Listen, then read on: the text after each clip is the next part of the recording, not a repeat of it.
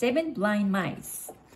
One day, seven blind mice were surprised to find a strange something by their pond. What is it? They cried, and they all ran home. On Monday, Red Mouse went first to find out. It's a pillar, he said. No one believed him.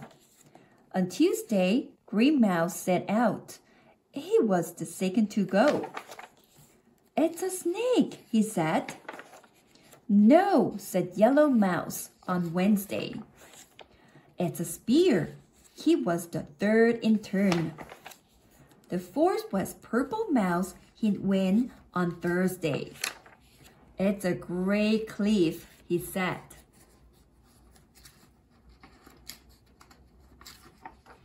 Orange Mouse went on Friday, the fifth to go.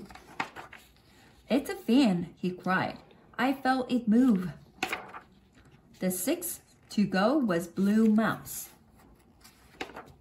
He went on Saturday and said, It's nothing but a rough. But the others didn't agree. They began to argue. A snake, a rough, a fan, a cliff, until on Sunday White Mouse, the seventh mouse, went to the pond.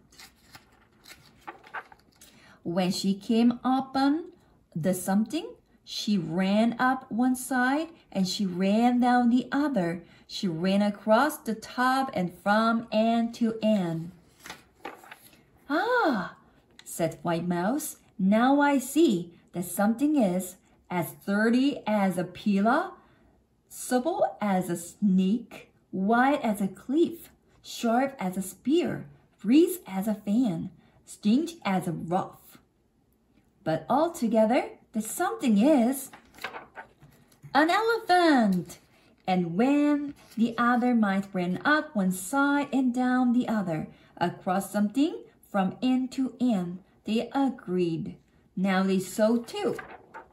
The mouse moral, knowing in part many make a fine tale, but wisdom comes from singing the whole. The end.